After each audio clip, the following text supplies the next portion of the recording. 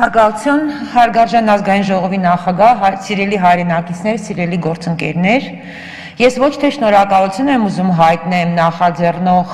падգամավորներին այս օրենքի, այլ իմ հիացմունքն եմ ուզում հայտնեմ, որ իրենք խիզախություն են ունեցել առհասարակ այսպիսի բարդ ոլորտը, ինչպիսին է ստեղծագործական ինդուստրիաների ոլորտը առհասարակ համարցակվել են պետական քաղաքականության վերաբերյալ առաջարկել իրենց տեսլականը այս օրենքի տեսքով։ Միշտ պետք է հասկանալ, որ ստեղծագործական ինդուստրիաները դա ամենաբարդ ոլորտն է, որովհետև դրանք կառավարվում են, դրանք ա, չի կարելի այն տրամաբանության մեջ դիտարկել, որով մենք դիտարկում ենք օրինակ սովորական արտադրությունը կամ բիզնես ոլորտը։ Ամեն դեպքում ստեղծագործ ինդուստրիաները դա ապագայի ա, զարգա ամենաարագ զարգացող բնագավառն է համաշխարհային տնտեսության մեջ։ Միայն մեկ օրինակ բերեմ, որpիսի հասկանալի լինի ակնկալվող ֆինանսական եւ էական ազդեցությունը այս այսպիսի ինդուստրիաների զարգացման զարգացման առաջնահերթություն տալու տնտեսական նշանակությունը Մեծ Բրիտանիայում, որը իհարկե դուք հիմա կասեք Հայաստանը եւ Մեծ Բրիտանիան, ասեմ ձեզ նախորոք, որ Մեծ Բրիտանիայում կան տեղական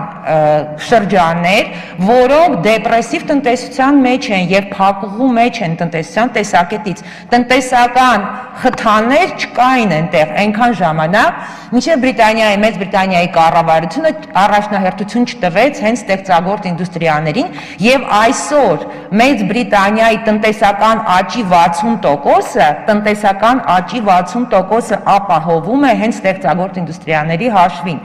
Ես պատրաստ եմ ցանկացած հետաքրքրվողներին տրամադրել համապատասխան թվեր, աղյուսակներ եւ ցույց տալ, ինչպիսի մեծ նշանակություն ունի այս ոլորտը առհասարակ տնտեսության զարգացման համար։ Երկրորդ կարևոր կետը, որին ուզում եմ անդրադառնամ, դա այն է, որ այս ոլորտը Հայաստանում շատ ավանդական ձևով անուշադրության էր մատնված, որևէ ողջամիտ եւ հասկանալի պետական քաղաքականություն բացակայում էր եւ դա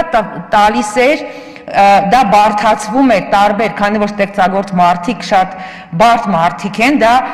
բարթանում էր նաև անձնական բարդ հարաբերություններով, տարբեր խմբերի բարդ հարաբերություններով, տարբեր տեսլականներով, տարբեր չարաշահումներով, որոնց մասին բարձրաձայնվել է երկար տարիներ, եւ այդ ամենը բերում էր նրան, որ այո, ինչպես ասեց պարոն Մելքումյանը, իրոք վերջի տարիներին մենք շատ քիչ կարող ենք հիշել իրոք արժանի գեղարվեստական բարձր արժեք ունեցող եւ համաշխարհային նշանակություն կամ նույնիսկ Հայաստանի համար հիշվող կինո արտադրություն, որը կար, որը որը արվել է եւ նկարվել է Հայաստանում։ Այնպես որ ես կարծում եմ, որ այս օրինագիծը դա պետական քաղաքականության, պետության ուշադրության եւ քաղաքական կամքի արտացոլում է, որը պետք է միանշանակ ողջունել եւ կարծում եմ, որ առաջին ընթերցմամբ մենք անպայման պետք է կողմ քվեարկել քվեարկենք այս նախագծին, համապատասխան ուղերձ տալով դաշտին եւ այդ հնարավոր հարթություններ, անհարթությունները եւ հարցադրումները, որոնք իմ գործընկերները նշեցին, ես կարծում եմ բավարար ժամանակ կա, որpիսի առաջինից երկրորդ ընթերցում ավելի ուշադիր նայել բովանդակությունը եւ հնարավորինս չափ ընդունելի դարձնել այս նախագծը բոլոր կողմերի համար։ Շնորհակալություն։